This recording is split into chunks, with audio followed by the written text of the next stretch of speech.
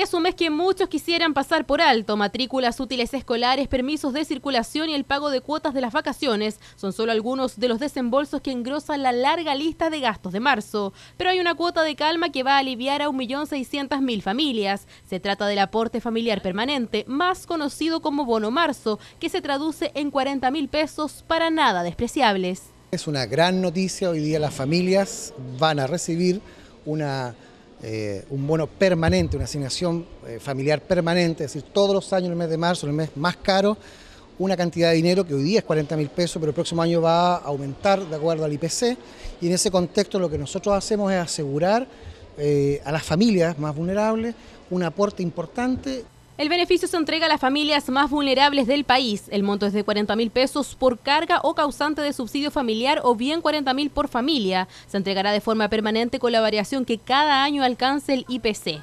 En 2013 fueron 308 mil las familias favorecidas en el Bio Bio con una inversión que superó los 13 mil millones de pesos. Gladys es madre de dos niñas, recibió el dinero el año pasado y está a la espera de los resultados. Es una gran ayuda justamente para el mes de marzo porque uno tiene hartos gastos, por ejemplo con mi hija mayor, eh, tengo que estar comprando lo que es uniforme, lista escolar y la chica igual necesita sus cosas, así que igual me sirve bastante para poder, eh, eh, poder comprar las cosas.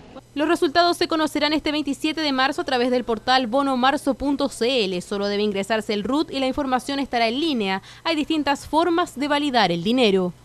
El día 28 debieran estar cobrando todas las personas en las cajas de compensación los OER, venir acá si necesitan algunas consultas aquí al IPS, pero rápidamente concurrir a la caja de compensación. Los pagos se realizarán alfabéticamente según apellido desde el 28 de marzo al 24 de abril.